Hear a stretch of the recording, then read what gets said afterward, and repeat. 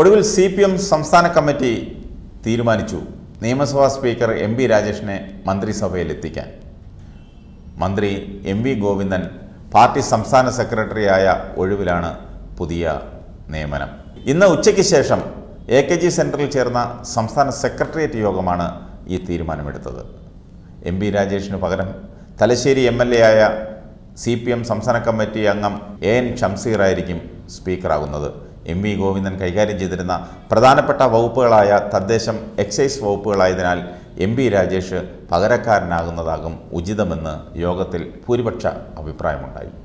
കണ്ണൂരിന് ഒരു മന്ത്രിയെ നഷ്ടപ്പെടുന്നതിനാൽ സ്പീക്കർ പദവിയിലേക്ക് കണ്ണൂരിൽ നിന്നുള്ള ജനപ്രതിനിധിയെ എത്തിക്കുകയായിരുന്നു.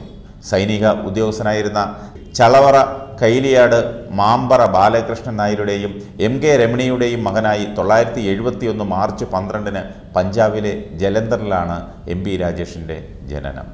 ഒറ്റപ്പാലത്ത് എൻ എസ് എസ് കോളേജിൽ നിന്ന് സാമ്പത്തിക ശാസ്ത്രത്തിൽ പി ജിയും ലോ അക്കാദമിയിൽ നിന്ന് നിയമബിരുദവും നേടിയിട്ടുണ്ട്. എസ് എഫ് ഐ സംസ്ഥാന secretary D Y F I സംസ്ഥാന പ്രസിഡന്റ് അഖിലേന്ത്യാ പ്രസിഡന്റ് എന്നീ നിലകളിൽ പ്രവർത്തിച്ചു.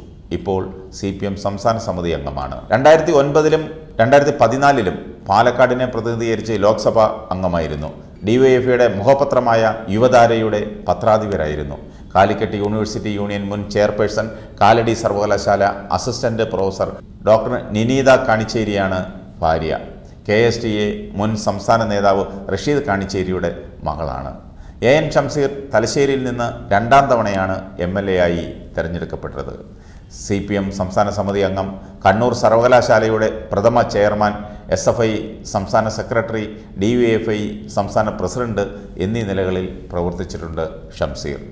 L L M ബിരുദധാരിയാണ്.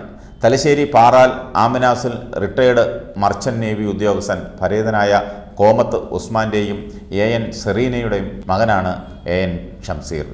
Doctor P M സഹലയാണ് ഭാര്യ. ഏതായാലും സി പി എം സംസ്ഥാന സെക്രട്ടേറിയറ്റ് എടുത്ത ഈ തീരുമാനം ഉചിതം തന്നെയാണ്. കണ്ണൂർ ജില്ലയിൽ നിന്ന് ഒരു മന്ത്രിസ്ഥാനം ഒഴിവായപ്പോൾ സ്പീക്കർ സ്ഥാനം നൽകി ആ വിടവ് നികത്തി. എം പി രാജേഷ് മന്ത്രിയാകാൻ യോഗ്യതയുള്ള ആളാണ്. പാർലമെന്ററി രംഗത്ത് ഇവർ രണ്ടുപേരും കഴിവ് തെളിയിച്ച ആളുകളാണ്.